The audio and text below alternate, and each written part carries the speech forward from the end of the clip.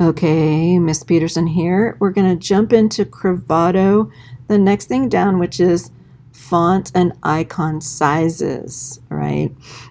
This is on, again, the Crevado help page, but I'm going to go ahead and go over to mine.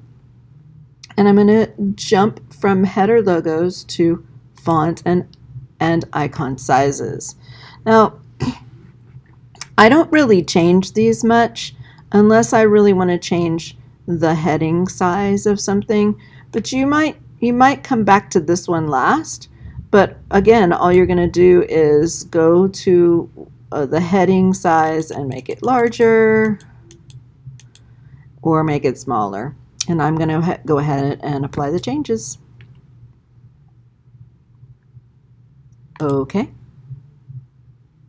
And let's look at new examples, Ali photographs.